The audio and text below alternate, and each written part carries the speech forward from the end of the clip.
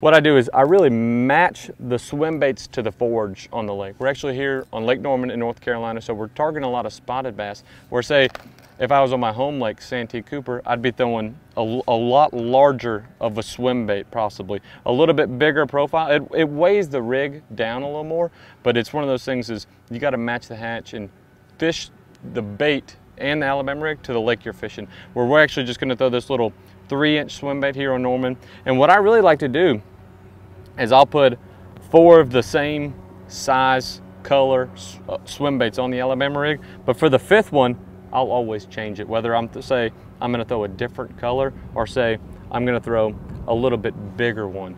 Always have something different, you know.